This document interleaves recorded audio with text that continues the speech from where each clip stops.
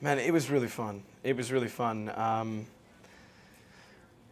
there was there was this, a real weight to it that, when we were there. Um, this is something that I tr- I've been make believing that for a long ass time since I was about ten years old, running around with my You could tell you did a good fake job. rifle. Um, but this this was well still faking it to to a whole new level. We had like amazing actors and, and it, it all felt very real.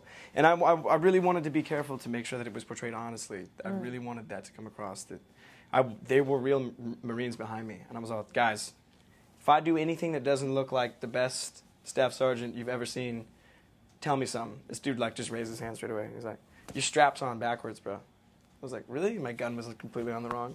Was it really? Yeah, well, yeah, I just said use the back. It was in the front.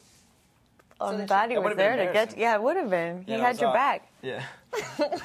yeah. So, anyways, they, I had a lot of backup and help.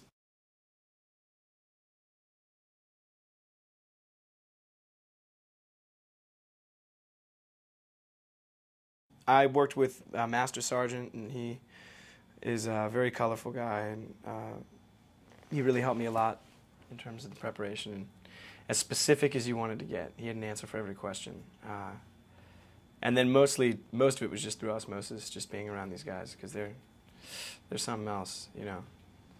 We we think about we're different, a different breed. Those are some real heroes.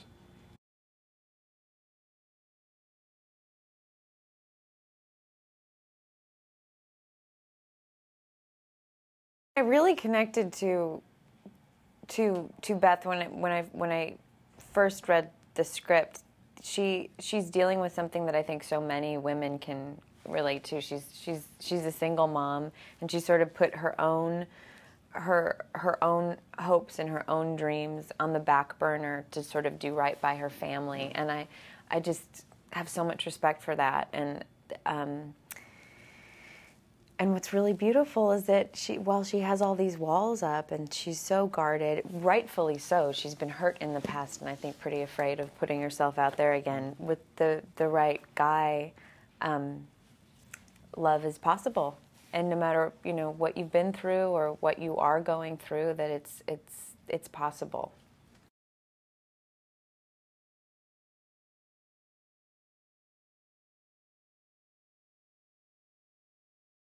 So we don't we don't meet each other and be like, you know, well, we've got good chemistry. We should do this. But You've got awesome chemistry. I knew immediately that we, you know, like we we talked. Yeah. We were we were talking. We communicated well. We had similar ideas. She seemed like a very very hard worker and took it very seriously.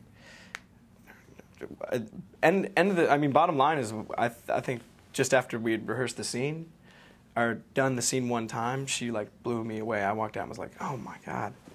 Um, and she had the part there, but then on top of that, she just also happened to be really cool, and that was, for me, um, it's it's very important that you know, I think it's so important that we, that that you have a good working relationship with somebody. and some people Yeah. just can't. I don't think, uh, Yeah.